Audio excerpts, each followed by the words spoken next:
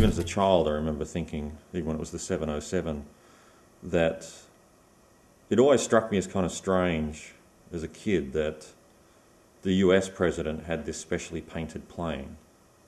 You know, this, this pastel blue and white thing. I don't know, I've always found the Air Force One ridiculous. A lot of what I think about is to do with technology. Obviously, a lot of the technological focus in the visual arts goes into generating an image. I mean, this piece is called There's a Hole in My Bucket. Um, there's a hole in the bucket. So we have Air Force One stuffed up inside this mop bucket um, with this hole with the lamp making this sparkling sunshine, you know. Um, and, you know, this cinematic moment of Air Force One sort of, you know, our leadership, which everyone's fighting over right now to who's going to be our next piece of leadership in this country. Um, you know, sort of powering on to you know this important international destination one could imagine or whatever. I'm trying to get the ingenuity to a level where it's not too clever. You know, I mean, there is obviously pleasure in the making of these, and I enjoy making this you know sweet image of the jet flying through the sky. I mean, it's, it's very boyish. I mean, this is actually pretty. It, it's it's ingenious, but it's also incredibly basic. It's just light and a camera and hang Air Force One upside down in a blue bucket, you know it, it's inescapably attractive to me at the same level as it's inescapably ridiculous. I mean, I love that conflation. You know. Black is positive. Black is negative on Okay. this one.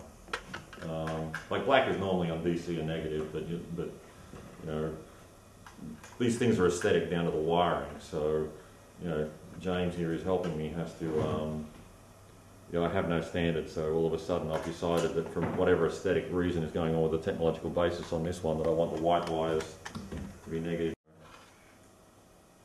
Yeah, and these pieces I'm doing now, I'm trying to integrate the sculpture into the narrative, the materials in the narrative that ends up being this image on the TV. I started it last December and I had a structure made out of these two tray tables using all found objects and bought things bought from these Bed Bath and Beyond and you know what have you type stores, hardware stores and so on.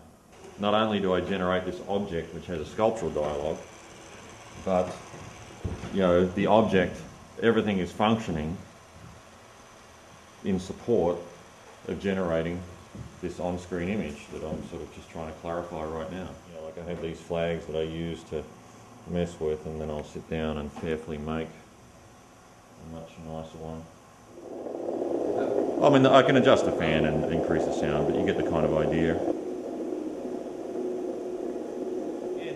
The image is simple, it's cinematic, it becomes readable as flag and landscape. You can look at it and realise it's generating this thing, it invokes curiosity, it's a little funny, it invokes humour, you know the materials it's made of, hopefully it invokes a little empathy, all these sorts of things I'm looking for to try and get the art viewer in this place where, you know, maybe they go off and have um, a somewhat different read. I grew up in an area called Lake Macquarie, which is an area only about 100 miles north of Sydney, but not an area that even Australians know that well. It's the area of Australia's biggest regional city, which is Newcastle. So it's, you know, and everything that's um, provincial has a chip on its shoulder, if you like.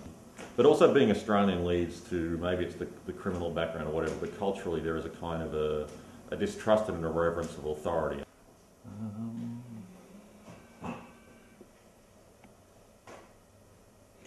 So this is a ride at PS1 as part of the Greater New York Show in 2005. Any viewer was welcome to get on this thing, you know, push the go button and, and take a little ride around the, um, the museum. There was an airplane in the sky, war imagery, there's a volcano. I was drawing on this idea of a contemporary um, grand tour.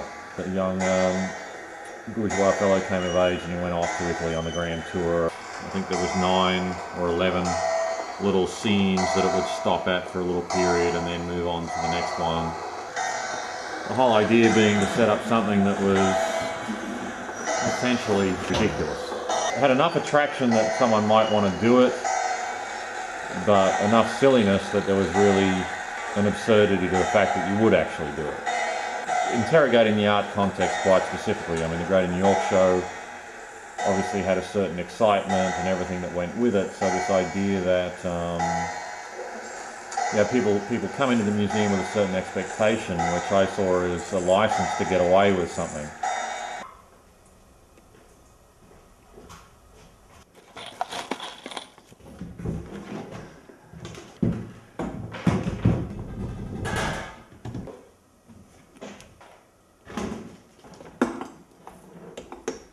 Hopefully to turn this on. Well, we have no image right now, we're just working on audio. This one in the end is going to make a, a view of an iceberg, an iceberg in a snowy landscape. You know, view- blue sky and puffy clouds. All I'm trying to do is place this cupboard fan to blow through the back of the chair into the cup where the camera is. So the camera is inside the cup in here. Um, now the cup has been smeared with some nice bits of uh, greasy hand sanitizer, and that, you know, out of focus in the foreground is going to create this sort of mist look from foreground to middle distance. And this white plastic bag here on my maquette, that just is what becomes the um, the iceberg. Nothing like a bit of crinkled white plastic to read as an iceberg. I mean, intrinsically, I think it's about art viewing. Um, it's about the institution, about the cultural industry of, of what art is, what it does. Um, but it's kind of about interrogating that, not necessarily accepting it.